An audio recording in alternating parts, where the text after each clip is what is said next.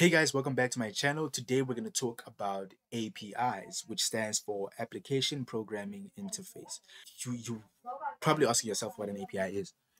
An API is is nothing more than a way for you to communicate with a server, right?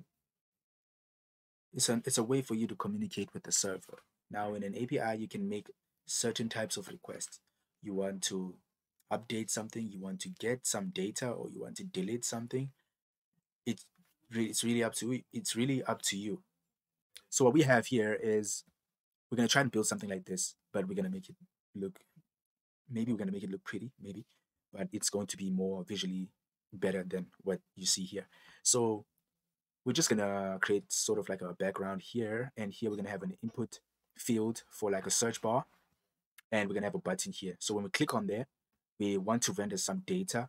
We want to search for a, a certain song, like apparently by J. Cole, right? We want to search apparently, and we want to get some data back based on that name, right? So we want to get maybe the name of the artist or something like that. So that's the type of API that we're going to try to consume. So what happens is certain websites give you certain APIs, right? They give you an API and they tell you what it does and how to use it, right? So that's the type of API we're going to be using in this tutorial. Uh, hopefully that wasn't too difficult to understand. We're going to get into more about this on the next video, but really this is just an introduction just to kind of get you to understand what an API is. So really, an API is nothing more than just a way for you to communicate with the server. So you have your machine here, and you have a server somewhere, whether it's in the United States or whatever. It's really a way for you to communicate with that. Now, you can't just communicate with the server some of the APIs you will need to have some sort of key that allows you to get that data. So they're going to provide that key to you. They might sell that, sell that key to you, or you might get it for free. It's really up to them how they play, how they want to do things. Or you might not even need a key. You just uh, use a certain URL that they provide, and boom, you have all that data. So it's really up to them how they want to do things. Right. So the first thing you're going to need to do is open up your browser and search for this music API. And the first thing you're going to see is this link, top eight free music APIs updated for 2022. Now you're going to click on that link and it's going to take you to this website. Now this is Rapid API. It usually has a lot of free APIs to use. I'm not sure if it has some of the paid APIs, but yeah, some of the APIs you have to pay for, some of them are free. And you're going to go down and you're going to click on this Shazam API. That's, that's the one we're going to work on. If you want to, you can try all of these out, but this is the one that we're going to be focusing on for this. Now it's going to take me straight to the Shazam API documentation. Now the documentation is going to tell you how to use that API. It's going to tell you what code to literally what code to write. So you don't even need to sometimes you don't even need to to write any of the code yourself. Some of them just provide the API link and you're going to have to know how to do the whole implementation, but some of them they provide the code for you, which is great. And it also provides some of them are going to sell these API keys. You're going to have to pay for them now, without this, you won't be able to connect to the API.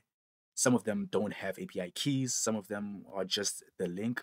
Just searching for this, you're going to get all of the data like that. And some of them you will need to have some, some sort of authentication to be able to connect to that API. Uh, as you can see here, this is a very great uh, platform to test some APIs because what happens is you can test it you can test it right here without having to use um, other third-party applications like um, Postman or Insomnia. So you can just test it out here, but we're not going to do that. What I want us to look at is this code right here. Now this code is, this is how to implement this API. This is how to use this API. So this is what they provide, this link. And the never mind that. I want you to focus on this link and these things, this API, this key string here, and this host string here. Now, these are very important. This this is the these are the three types of data that you're going to receive from that from an API from someone who provides or some website that provides an API. Um, and you're going to have to learn to implement this on your own. But this is the Axios implementation, which is another way to implement APIs in JavaScript. But we're not we're not going to be doing that. We're going to be doing the fetch API, which is a lot easier. And also, I haven't done Axios, so I don't know it, but I've heard about it. I've been using Fetch, Fetch APIs for a while now. And here, this is very simple. As you can see, this is just a simple object. And the object has a property called method. Now, if you've been coding for a while now, if you've done some HTML, CSS, and JavaScript, if you've done HTML and you've worked with forms a lot, you're gonna see you you remember you probably remember an attribute called get um, method. Now, the method allows you to specify whether you're gonna be making a get or post request, and we we are just trying to get the data here. We're not trying to alter that data. We're just trying to get that data. So we're gonna have to type here get, and then as the second one, the headers we're just going to specify whatever they give us here. So in the headers, we should specify the the XRapid API key, whatever they decide to call it in that in, in the API that you are trying to consume. And the value here, you're gonna pass in that value as the as the value in this object. So this is also an object within this options object. And this is the host. You're gonna paste the same thing. Now here you're going to use the fetch API, the fetch method or function, I should say. Now the fetch function, you pass in two parameters. One parameter is the the actual link, the API link that they provide for you, the API endpoint, which the right word for it is the API endpoint. And the second argument is going to be your implementation.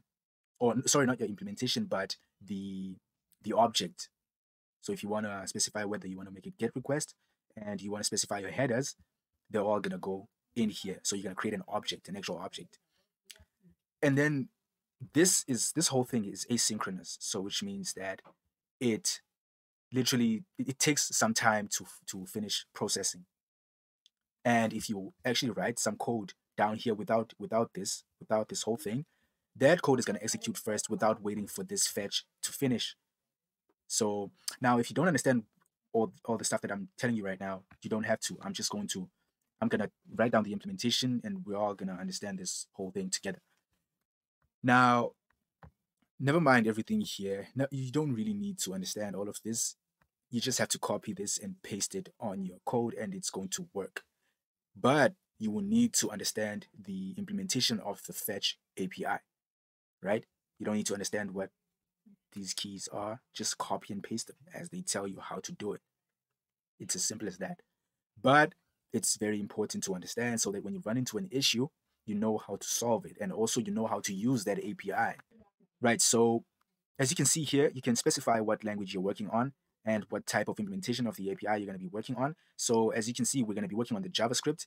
You can you can use jQuery, you can use the Fetch API, you can use the XML HTTP request, you can use Axios if you want but we're going to be using the fetch API, which is a lot simpler. And yeah. So the next thing we're going to have to do is create a project. Now we're going to do this last. So the first thing I want to do is just handle the user interface of our website. So I'm just going to, sorry you had to see that. And I'm going to click on websites. Now it doesn't matter where you decide to create your project. You can create it everywhere. You can create it anywhere. You can create it here if you want. I'm just going to open a folder called websites, which is where I store most of the websites that I work on, some of them actually. Now I'm going to create a folder. This folder, I'm going to give it a name of, um, I'm just going to say tutorial fetch API. You can name it anything you want. Sorry. Now in here, we're going to create a file index.html.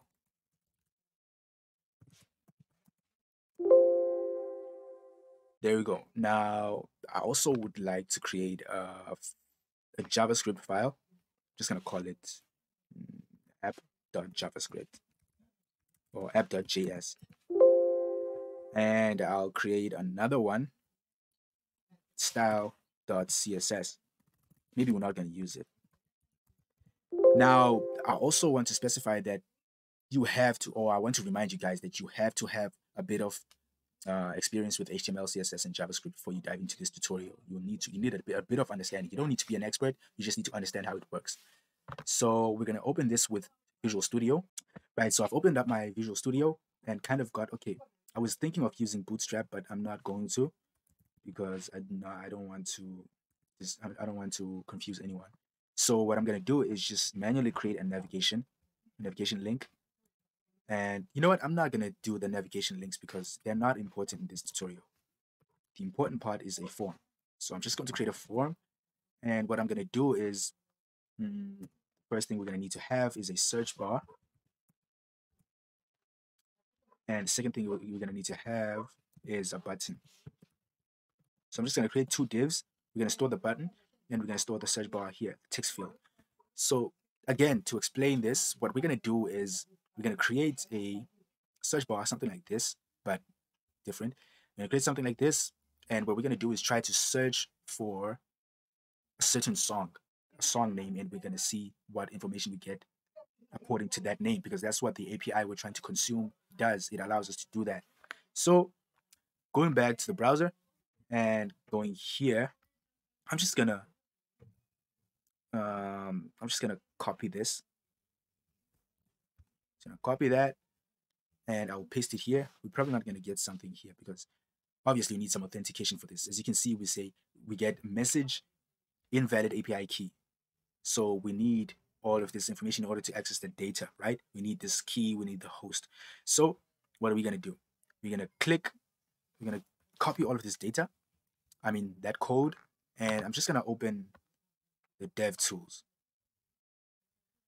And okay, let's open the dev tools of our particular website.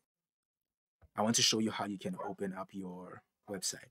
I mean, you probably already know, but let's say someone who doesn't who doesn't know that is watching this video, but we're to click open with and we're to choose our preferred browser. We're to go to Google and now we get our little website here.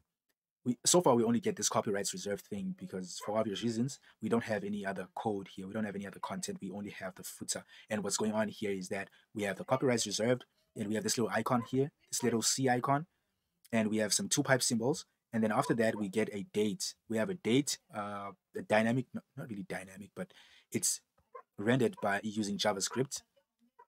So essentially why I did that was because I don't want to you to keep updating 2022 for every year.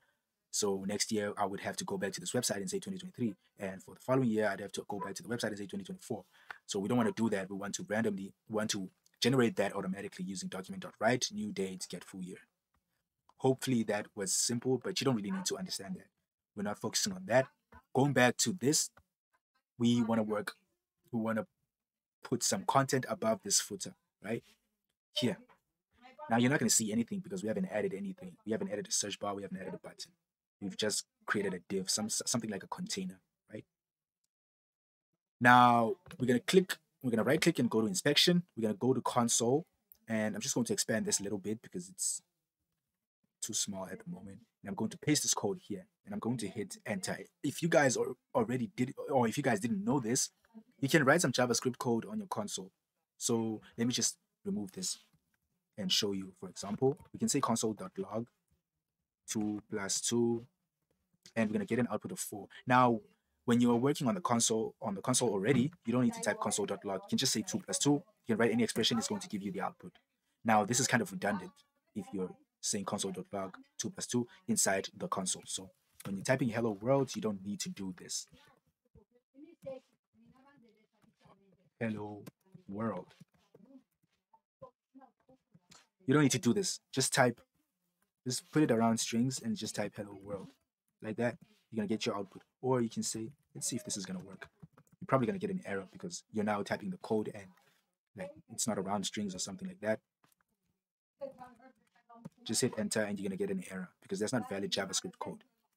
Right? So simple enough. I'm just going to clear out this editor. I mean this console and I'm going to paste that code here. Now, what you see is you get this promise, and a couple of seconds later, you get some data, right? Now, this is a result of a search, a ready-made search. Now, as you can see here, I want you to focus on this. Term is equal to kiss the rain. Now, I want think of this uh, percentage 20 as a space. Think of it as a space. So, kiss the rain is the name of the, the, the song that that person or the thing or the default search is what I'm trying to say. So it could have been something else. Think of applying pressure by J. Cole. So you would say apply applying and then you would say dollars, I mean percentage sign 20 and then after that you would say pressure, right? Let's just test that out. I'm going to paste this code here and I'm going to remove all of this. Uh, and I will say applying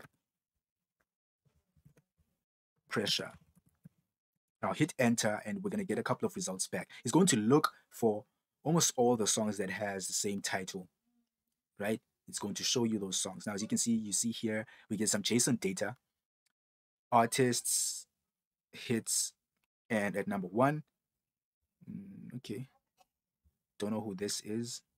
Let me just click open that. The name of the song is Applying Pressure. I want you, to, I want you to see the artist names. That's what I'm looking for here. Now, there's a lot of stuff here to look at, and that's what we're going to be doing in this tutorial.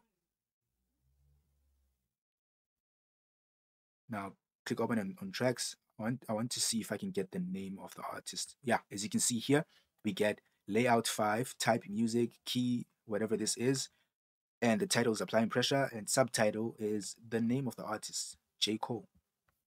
So you can think of any song really. It's going to give you that song's name. Don't just give you some data according to that name of that song. It's not only J. Cole here, as you can see, there's more songs here. One, two, three, four. There's four songs here. And uh, another person is Snoop Dogg on the second index, which is like the third the third um, position, is I'm just gonna open this. Yeah, I don't see anything here. Anyway, yeah, you get the idea. Now I'll change this to another song I'm gonna change it to uh, Um, what other song? Um, the Art of Peer Pressure.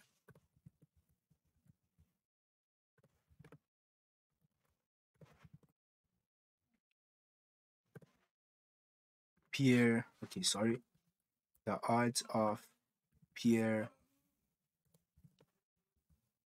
Pressure and it's going to give me some results. Now it's going to wait for a while and then it's going to give me that result. It's not really waiting, it's trying to get that data. We'll talk more about that later on. I'm going to open this tracks, go to hits, and on hits, I will just open this up and I'll see Kendrick Lamar. Kendrick Lamar is pretty much one of the only people who did a song named um, "The Art of Peer Pressure," or maybe I, maybe I'm mistaken, but I don't know anyone else who's done a song like that. As you can see from this data, you don't see anyone else. Or at least this is the only known one, right?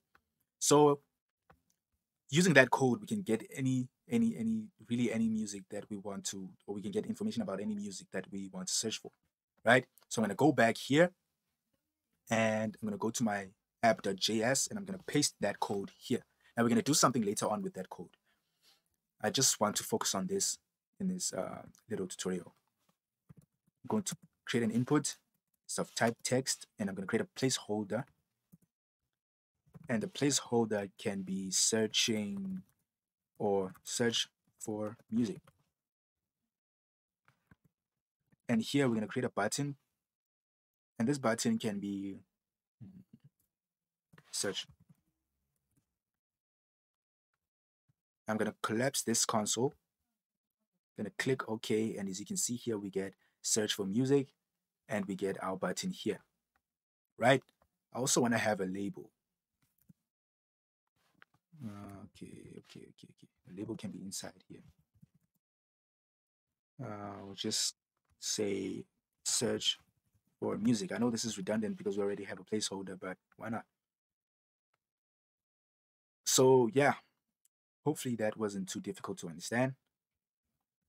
And the next thing we're going to need to do I'm going to give this button an ID of search. And I'll give this also an ID of search input. Right? Now, I'm not going to focus on styling here. If you want to style it, you can style it the way you want to. But I'm really, I really want to focus on just working with that API. We're going to deal with the styling later on. Now, I want to show you the results when I paste the code on my on my um, on my JavaScript. Now, I want you to guess what's gonna happen here. It's gonna inspect. I want you to guess what's gonna happen. Will I get any results here? And why won't I get any result? Okay, let me just comment all this code out. And I'm just gonna say console.log hello. Now, why am I not gonna get a result here? Why am I not getting any result here? For obvious reasons, we have to include that that uh, JavaScript tag down here. Just gonna say script, and I'll say source. I'll say app.js. like that.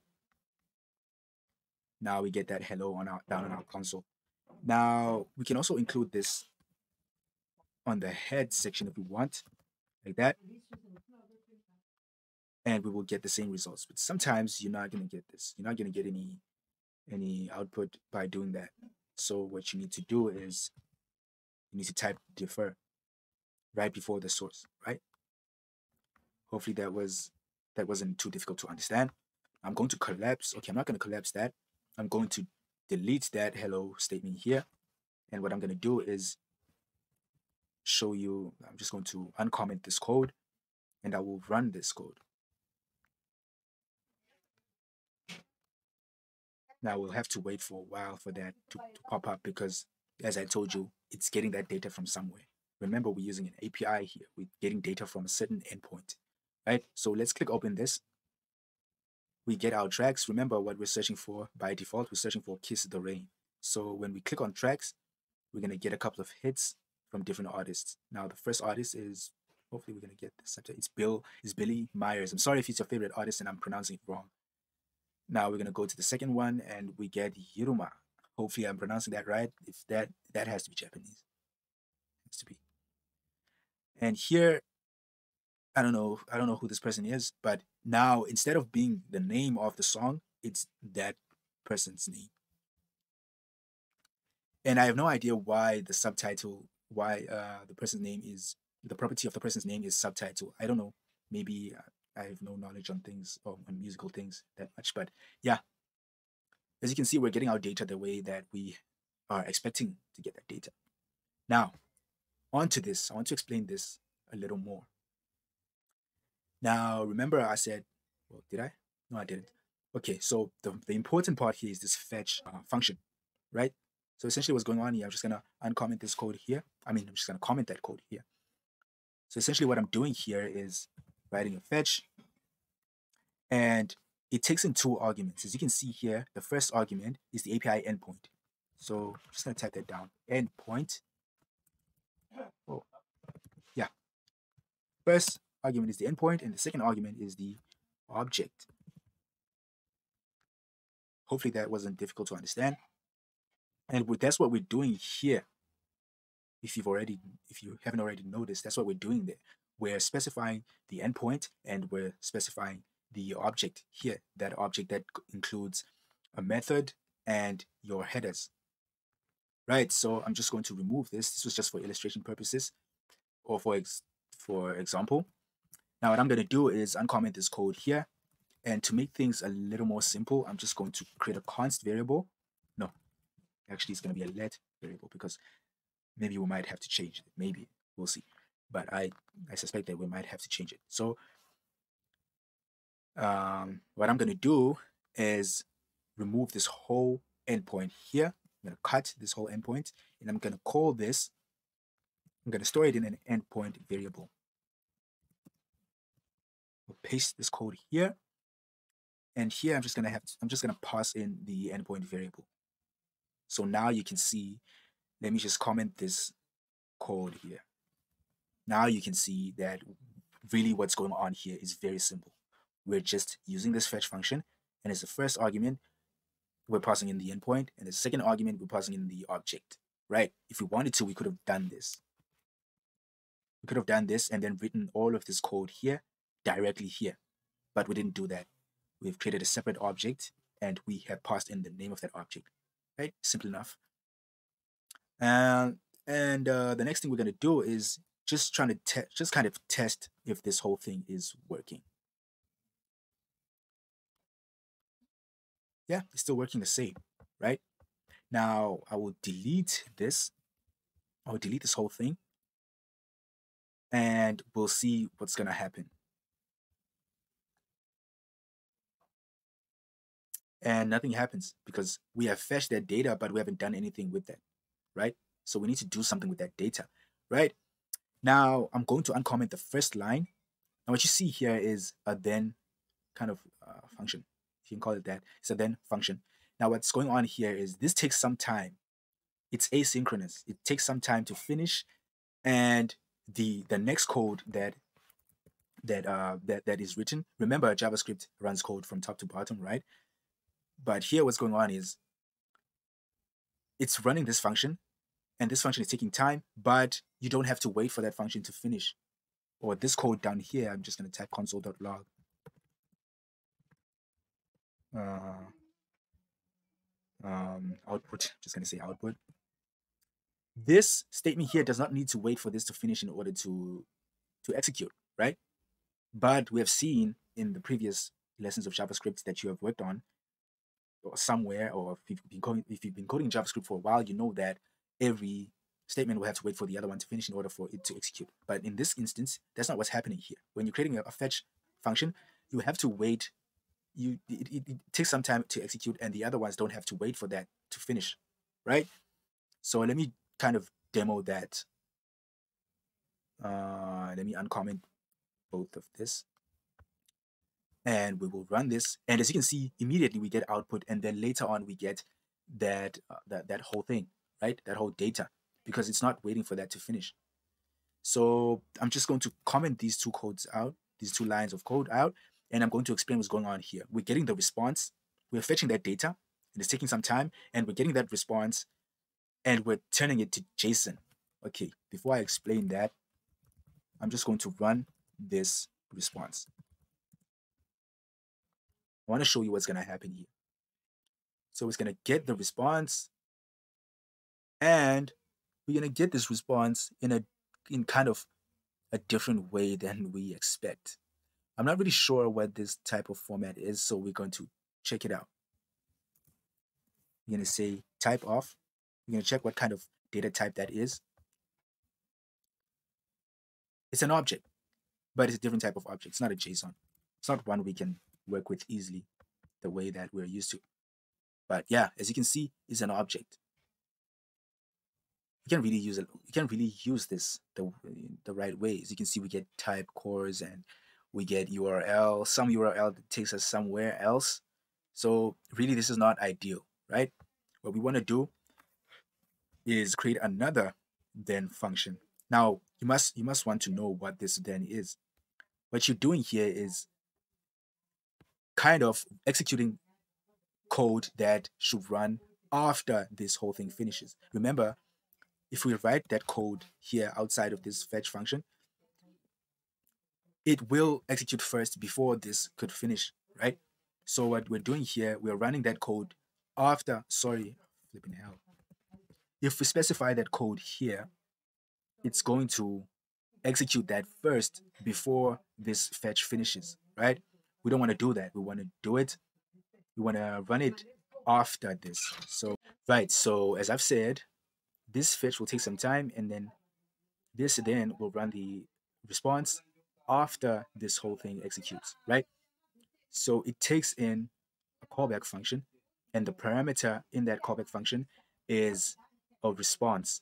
So we can you can name this anything you want, but I'm just gonna call it response. And it's an error it's an error function. And after the whole thing executes, we're gonna console log that response we get, right? I'm going to remove these two lines here and I'm going to type it manually. Now here, we're getting that weird object, right? Now here, what I want to do is, or here, we want to change that to JSON. So we want to say response.json. So now we're converting that response to JSON, just like that. And then here, that response is going to be stored as the parameter of this second then object. So it's going to be then function, sorry. We're going to call this one data. And we're just going to console log that data out. Right? Simple enough. Now, when we're dealing with this type of stuff, we need to catch our errors because let's I want to show you what's going to happen if we don't do that. As you can see here, we get uncaught in promise, type error, failed to fetch, add, whatever. So we need to catch that error. I'm going to call this ERR. And it's an error function, console.log. We're going to console.log that error out if we have one, right? Now, another thing to note is if you're a person likes to use semicolons at the end, like me, you have to be careful that when you're working with asynchronous uh, programming or asynchronous function, make sure that if you're still going to use a then a dot then, then you shouldn't add a comma, I mean a semicolon at the end. Don't do that. Don't add semicolons at the end because this then this is a method chain. This is some some sort of method chaining here. This is the same as this. This is some chaining, a long chaining. But if we if we, if we have written this code like that, if we had written this code like that, it would be a bit confusing, right? So that's why we write it out in like this in different lines, right? So now it's a lot easier to understand. So if you add a semicolon, this won't work. Now, now we're going to check the response. And we've did this a couple of times. So, so now let's run this again. And it's going to take a while and it's going to give us our response. So now everything is working fine. And you may have already guessed that we have to write all of our code inside this second function here. I'm going to open it like that. And so long, I'm just going to console, console log that data. I'm going to click refresh and we should be getting that data back. Now I want to understand what is going on here. How do we work with this data? Is it like a single object? We get like an object back and we get artists and we get an array for hits, array of objects. We need to understand how this object works and then we need to render the type the only the type of data that we want to render. So do we want to work with hits, artists, or do we want to focus on just printing out the artist name or whatever we want to do? So the first thing I'm going to do is just, I just want to print out the name of the artist. I don't want to focus a lot on the other types of uh, data that we have in this object. Right. So, but before I do all of that, I want to search for the song here instead of in the URL, right? I want to search for the song here. Like if I want to search for applying pressure, we should get some data down here, right?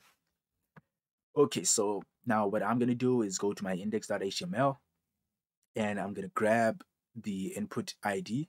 So I'm going to grab this. And here we're going to go up there. I'm going to create a variable and I'm going to call this input. We want to say document dot get element by ID. And in here, we're just going to paste the ID of that certain input. So now we, we're getting that input, but we want to get the value of that input, right? So what we want to do here, so what I like to do is instead of using that, we're going to use backticks because I want to, there's something I want to do. Term Kiss the Rain. Right? So this would be the name of the song. So I'm going to replace that with input, right? So this is what I want to do. Input. But now we're not going to get the value we want. We're not getting that value. We're just getting the whole input object. So we're going to get an error here. When we try to search for a song, we're going to get an error. You know, not an error. We just don't get anything. We're not getting an error. We're not getting anything because it does not know what that is. It's trying to search for whatever we put in there. So instead of doing that, we say input dot value to get the value of that input. Syntax error, unexpected, end of JSON input. Okay, never mind. Oh, yeah, yeah, yeah. Another thing we need to do is we need to trigger that in case like when we click on this search button. We don't just want to do that. We don't just want to uh, search out of nowhere because what is going what's going to happen is it's going to get this value, but this value is nothing, right? There's nothing in here. So it doesn't understand what you mean by input dot value. It doesn't understand what you mean by giving it a null value, right? So what we're gonna do is, hmm, okay, how am I gonna do this?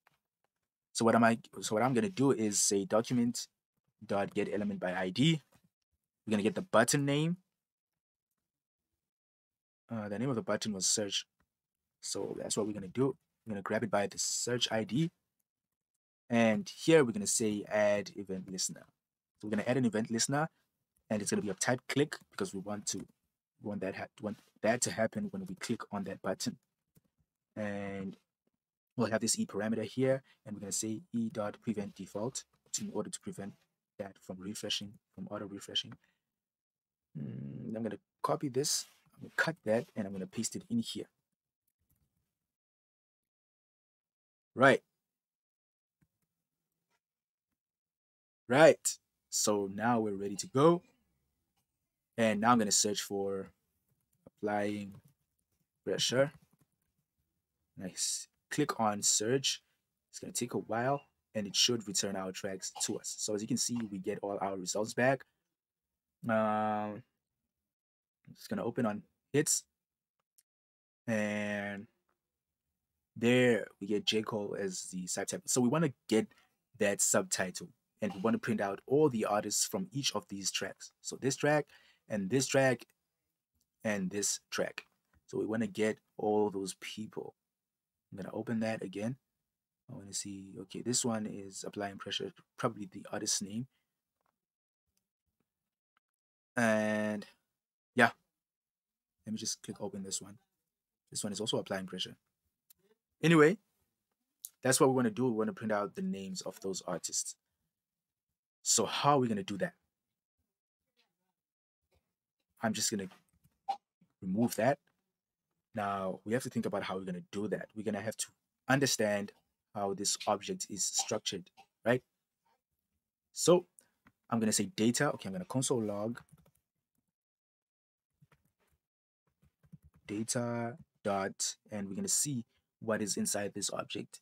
When I say data dot tracks, what happens? Because when I open that, this is what I see. Okay, so let me just say uh, apparently and then I search okay sorry I clicked that twice that's why we're getting two results so I'm getting an array here of hits for some reason okay but I clicked on tracks instead of hits but anyway let's just see what the issue was there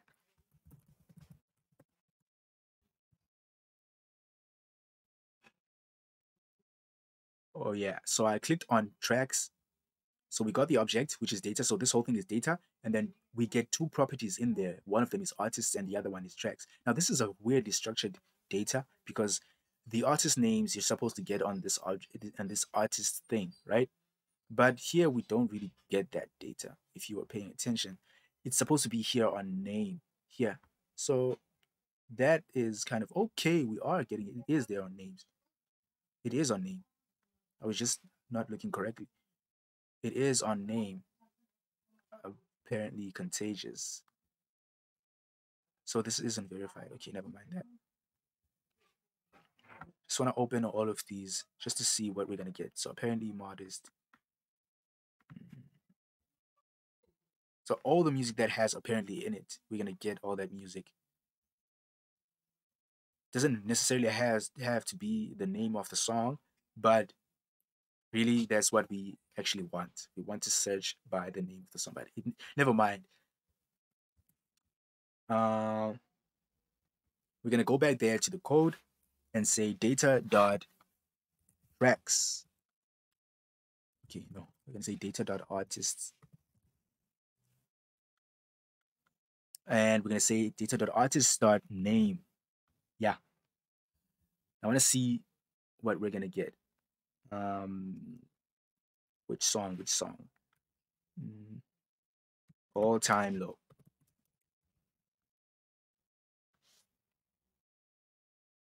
Now we get undefined here. We get undefined for some reason. Let's just remove that just remove that name. I want to see what's going on here. I will refresh. Now i will paste that code back. I mean the name of the song and we get hits. So we we get another property that we need to type, right? So you, it's data dot name. Now, hopefully, we're gonna get something.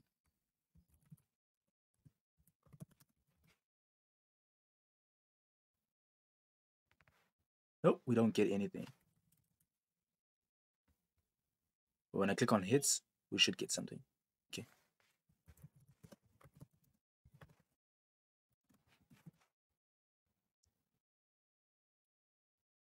Right, so we get an array which has the artist. Okay, we get an array. The name of that artist is all time low. Yeah, so the name of these artists are all time low, which is super weird. Okay, right. Um, I'm just gonna search for a different song. Um, no role models. Just gonna search for that.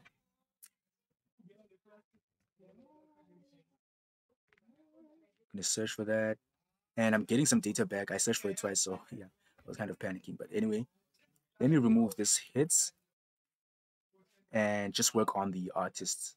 Right, I'm gonna copy this, cut this. I'll refresh, and I will paste that again. Let's wait for it, and we get an array, and we get only one artist, which we all know is J Cole. Right.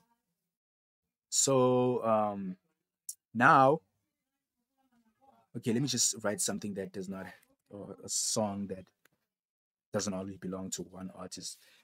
Oh, what other song has? Okay, let me say Numb. I know there's lots of songs with, the title of Numb. Yeah, I know that. Hits, there's a total of five hits. Now, in hits, it returns an array. Now, hits is an array right? So we have to treat this data.artist as an array. Okay, this data.artist is an object. And hits, which is the sub property of that, is an array. Let's just type that again. Numb.